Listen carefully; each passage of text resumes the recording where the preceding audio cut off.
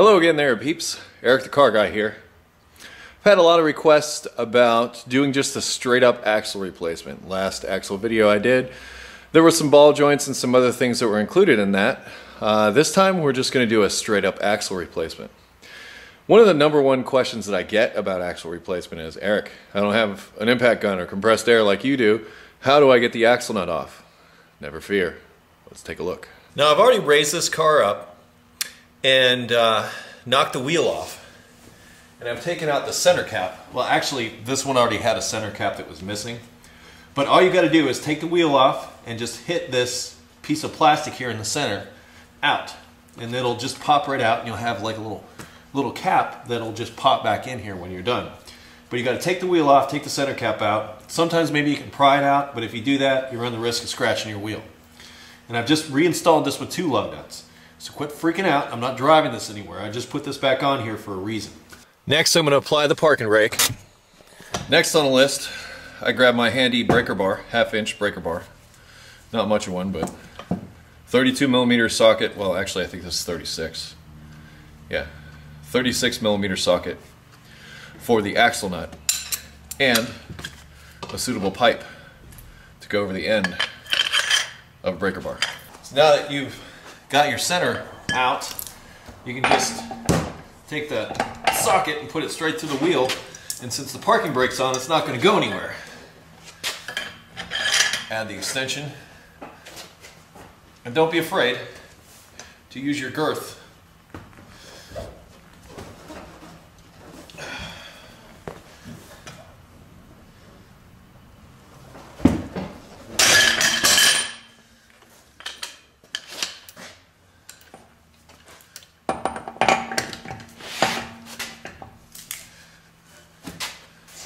Ta-da!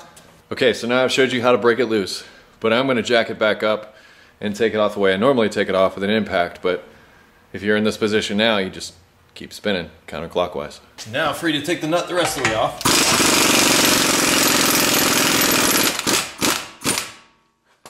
A little bit of penetrating oil here won't hurt. Now this is the old axle, so I'm not really so concerned about preserving this and mushrooming this out. But um, if you need to hit on an axle to knock it loose from the inside of a hub and you're going to save the axle, just spin the nut back on to the point where it's just flush like this and hit on the nut. That way you don't mushroom this out so bad that um, you won't be able to get it back through or get the nut back onto it. But that's traditionally how it's done. However, um, this axle is being replaced, so I really don't care. Hit it with a hammer.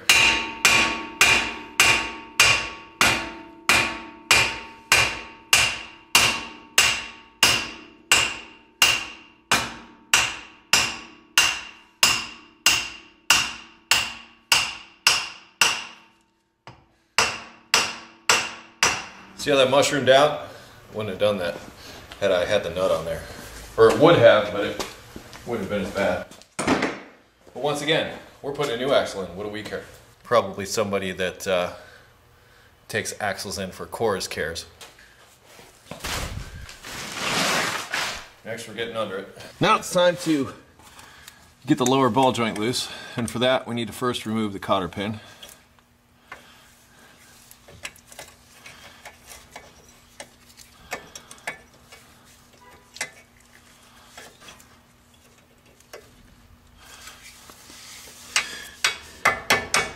Now, if you're having trouble with cotter pins, you can do what many do, and that is to just cut off the end and then spin the nut right over the top of it. Uh, if you're in an extreme situation, you can do that personally. If I can get away without doing that, I won't. Just because I like to not get them jammed up in there but this is how I do it. And for the most part, I reuse these. You should really replace them with new, but I, I reuse these all the time, actually. But should you replace them? Yes, you should. Get mad, tell me I'm wrong, whatever. Now we need to get the lower ball joint loose from here. And for that, uh, you can use a pickle fork. I've also seen people uh, take a socket and stick it in between here and take this wishbone loose and kick down on here and the, the socket that's forced in between the uh, lower part of the knuckle and the lower control arm will pop the two things apart. It actually works pretty sweet, but you're not always able to get this nut out and doing an axle replacement. It's a good idea to get that out, but it's not always possible. So if it's not possible, and actually my preferred method of knocking these loose is just my big old hammer. You want to hit what it goes through. Always hit what it goes through. The bigger the hammer, the better. This is Thor.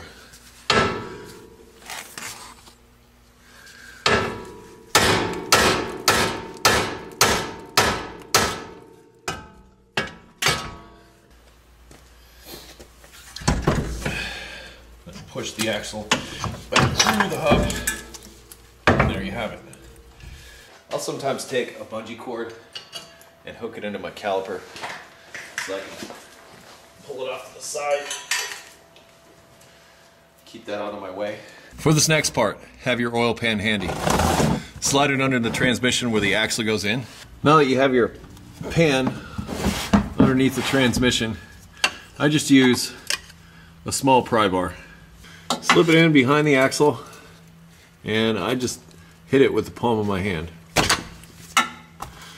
And poof. They usually come out. Now if they don't pop right out, twist them. Like just turn it like a, oh, turn it like a turn like that, try again. Turn it another turn like that, try again. Turn it another turn like that and try again. You want to try and avoid like sticking a chisel up in between here. Because what's actually happening when it's not coming out is quite simply yeah and you can see exactly what I'm trying to show you. This little clip is the thing that's holding it in. So you see how it's split right there? So you need to rotate it around till that split gets into a slightly different spot because that's that's really all that's holding that axle in but you got to be mindful of that when you're taking this apart Now that you have the axle out, it may come through the wishbone. It may not. Like this one won't.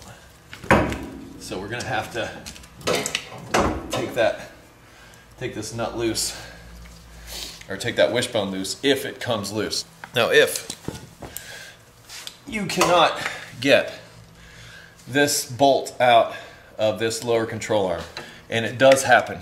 But if that does happen and you're not able to do it, don't try to fight with it. Just take the inner boot here and cut it.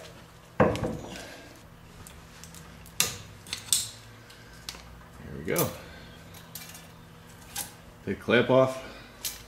And then just peel it off the inner joint and pull the inner joint off the end of the axle. Just like that. Then you just pull this out. And don't worry about that stuff because when you put the new axle on, you're going to have to do the same thing. The only thing you're going to need is one band. And I showed you how to put those bands on. But you can put it back together. So you can't get this loose, and this sometimes happens. That's what you do. There's a fair amount of grease here. So I'm just going to clean it up.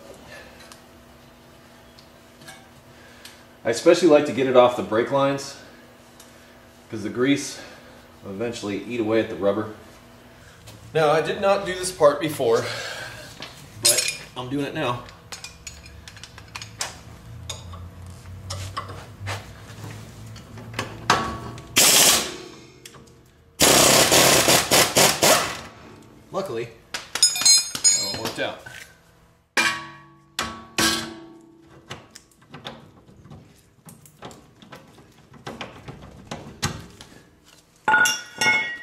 Like I said, some of you may not be so fortunate. If that's the case, I'm sorry for you. Now, simply pull the wishbone forward. Take your new axle, slip it up in.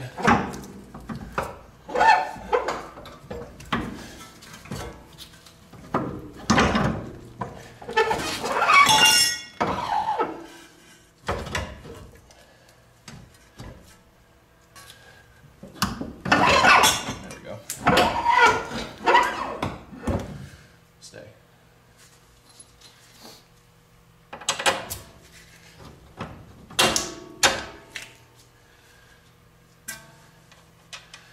Now, like I've said in my other video, you really should set the wheel down on the ground before you tighten this because you'll stress this bushing.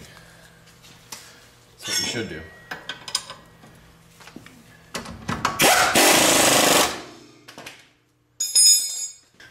I also forgot to mention this time that I did mention in the other video, I already got this far, is that you should take the old axle, lay it up next to the new axle, and make sure they're both the same. Especially the inner parts, uh, because if you don't, you may be putting in an axle that's not going to fit in the transmission or there's something else going on. So definitely make sure of that before you get to this point where you're about to put it back inside the transmission because if it doesn't fit all the way into the transmission, it won't seal, transmission fluid will leak out, things will get ugly. So check your parts before you install them, make sure they're correct. Now comes the fun part. Slide the axle up the point where you're be very careful not to damage that seal. Now twist it back and forth a little bit and then just take the axle and push it in. There you go. If that doesn't happen, take like a rubber hammer or something like that and tap on the outside of this to, to get it in. But it should pretty much just go in and go flush just like that and lock down. If you got any space here, try again. Okay, I'll get my bungee cord.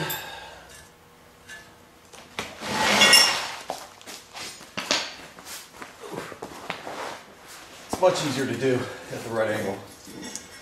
Feed your axle back through. Turn the hub until the splines start going in. Take your ball joint, slip it back in.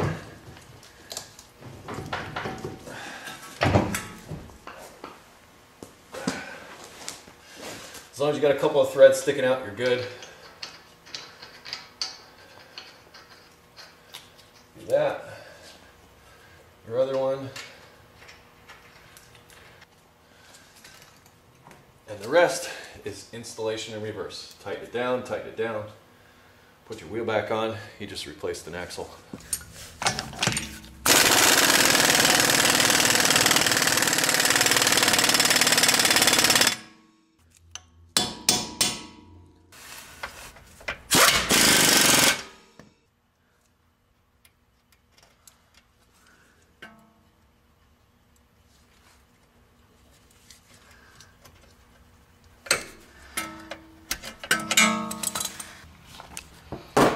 I'm Eric the Car Guy. You can always visit me at ericthecarguy.com or follow me on Facebook and Twitter. Yeah, that is what I'm doing these. That is what you kids are doing these days, I don't know, isn't it? Or you can uh, hear me on the podcast with Rich Baxter from Car and Truck Talk. Uh, cannot talk. From Car and Truck carandtrucktalk.com Sundays. Anyhow, once again, I hope it was helpful. Yeah, it's pretty simple and straightforward. And I hope you're able to do the job as a result. Questions, comments are always welcome. And uh, I will see you in the next video. So until then, stay dirty. See ya.